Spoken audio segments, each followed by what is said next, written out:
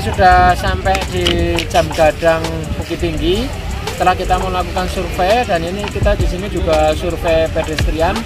Ini ada tiang lampu, ada bak sampah, ada signet untuk papan nama arah, ada juga untuk rambu-rambu, ada railing dan berbagai macam. Ini kita survei sekaligus ada proyek di Bukit Tinggi 2021 ini di bulan Maret.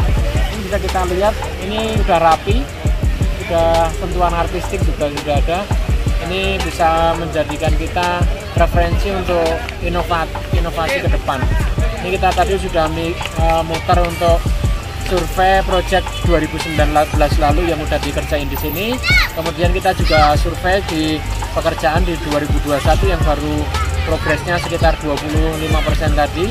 Dan ini terakhir kita sore kita berkunjung di Jam Gadang ada apa riset kita untuk melakukan inovasi yang untuk lebih lebih bagus lagi.